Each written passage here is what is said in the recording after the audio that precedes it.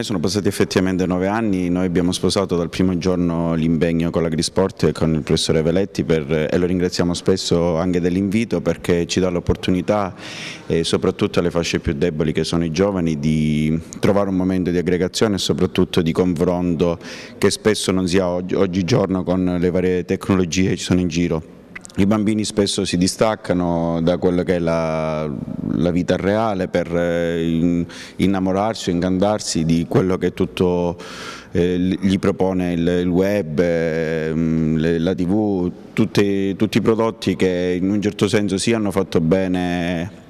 un po' nell'evoluzione della cultura ma spesso danno anche gravi danneggiamenti alla socializzazione che sono una cosa fondamentale per i più giovani. Lo sport è comunque fonte di, di benessere generale, non è solo una cosa fisica ma anche mentale, serve spesso per scaricare le tensioni, gli umori non serve solo ai più giovani ma, ma a tutti quanti, perciò lo consigliamo perché è un momento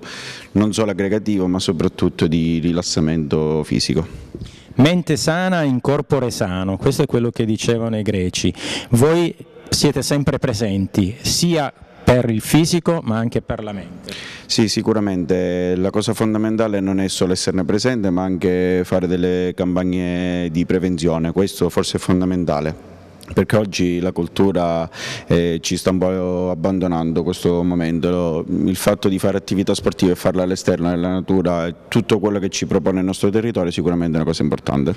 Oggi farete anche una dimostrazione di rianimazione e di uso del defibrillatore, importante per nelle scuole soprattutto e importante anche nella pratica sportiva. Sì, sicuramente l'uso del defibrillatore è essenziale perché mh, mm, un, un arresto cardiaco può succedere in qualsiasi momento, non è vero che per forza sotto sforzo e fortunatamente a Gela ci sono quattro scuole che sono cardioprotette. È stato fatto un progetto qualche anno fa dove noi abbiamo formato anche gli insegnanti e ogni due anni facciamo refreshing. È importante anche per le associazioni sportive, finalmente lo Stato italiano ha capito le esigenze ha dato l'obbligo a tutte le varie associazioni, sia sportive o non, di munirsi di un defibrillatore perché ci sono stati tanti casi di morte improvvisa che, di gente che si sarebbe potuta salvare con una presenza del defibrillatore e soprattutto del personale formato. Lo scopo fondamentale di queste campagne, anche spesso quando facciamo noi le informazioni, i corsi, è proprio che più gente conosce e sa è più facile salvare una vita, significa un giorno sono io a salvare te ma un giorno potrei avere necessità io, perciò più gente conosce, più sa è più facile che una, una vita si salvi.